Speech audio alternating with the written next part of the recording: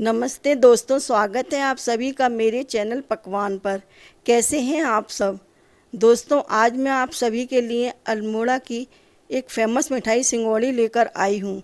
आप सभी लोगों ने बाल मिठाई का नाम तो सुना होगा, लेकिन जो लोग उत्तराखंड से नहीं हैं, उन्हें सिंगौड़ी के बारे में कम पता होता है।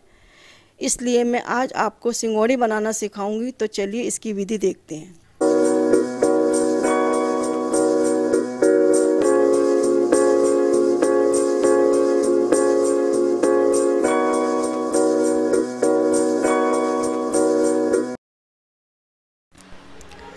दोस्तों, अब मैंने 500 ग्राम खोया ले लिया है। अब मैं एक कढ़ाई लूँगी और उसमें ये खोया डाल दूँगी। और इसे मैं धीरे धीरे चलाऊँगी। दोस्तों, आपको गैस धीमी रखनी है, क्योंकि तेज़ आग पर खोया जल सकता है और हमें इसका कलर चेंज नहीं करना है। दोस्तों, मैंने ये बाज़ार का खोया लिया है, लेकिन अगर आप चाहें तो इसे घर में भी आसानी से बना सकते हैं। अब देखिए, ये अच्छी तरीके से पक गया है। मैं इसे एक प्लेट में निकालूँगी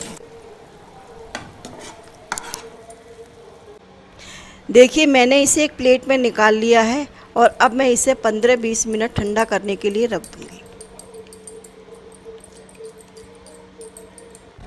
दोस्तों, देखिए, ये हैं शिवाली के पत्ते। अब मैं इसकी कौन बना लूँगी? देखिए, ऐसा भी हो सकता है कि आपके आसपास शिवाली के पत्ते ना मिलें तो टेंशन मत लीजिए, आप इसे नॉर्मल बर्फ़ी का आकार भी दे सकते हैं।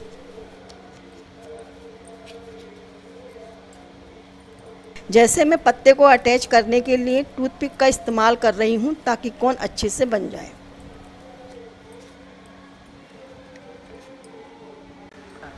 आप देखिए, मैंने चार कौन रेडी कर लिए हैं। दोस्तों, अब खोया ठंडा हो गया है तो अब मैं इसमें सभी चीज़ें मिला लेती हूँ। सबसे पहले मैंने इसमें 150 ग्राम चीनी का बूरा मिलाया है और अब मैं इसे अच्छे से खोए में मिला लेती हूँ। आपको याद रखना है कि खोया अच्छे से ठंडा हो जाए, नहीं तो चीनी इसमें पिघल जाएगी और पूरा खोया पतला हो जाएगा। चीनी के बाद अब हम इसमें एक छोटी कटोरी गोले का बुरादा मिला लेंगे। अब मैं इसमें दो चम्मच चिरौंजी मिलाऊँगी।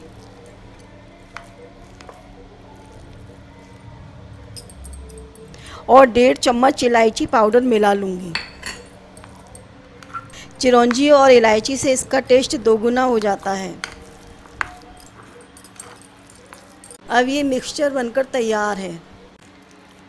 अब मैं इस मिक्सचर को कौन में भर लेती हूँ? आपको याद रखना है कि मिक्सर अच्छे से ठंडा हो जाए, ये तभी कौन में अच्छे से भरा जा सकता है।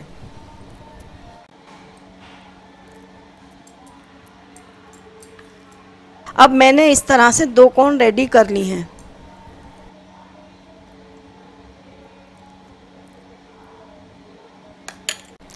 एक प्लेट में मैंने घी लगा लिया है और बचे हुए मिक्सचर को अब मैं बर्फ़ी का आकार दे दूँगी। प्लेट में डालने के बाद आप इस मिक्सचर को 15 मिनट के लिए फ्रिज में सेट होने के लिए रख लीजिए, ताकि बर्फ़ी के अच्छे से पीस कट सकें। अब मैंने 15 मिनट बाद इस मिक्सचर को फ्रिज से निकाल लिया है और अब मैं इसे बर्फ़ी का शेप दे दूँगी। देखिए, आप इसे अपने हिसाब से कोई भी शेप दे सकते हैं। दोस्तों, बनकर तैयार है अल्मोड़ा की फ़ेमस सिंगोड़ी। इसे घर पर बनाएँ और इन्जॉय करें। और इस रेसिपी को अपने दोस्तों के साथ शेयर करें। और मेरे चैनल को लाइक और सब्सक्राइब ज़रूर करें। धन्यवाद।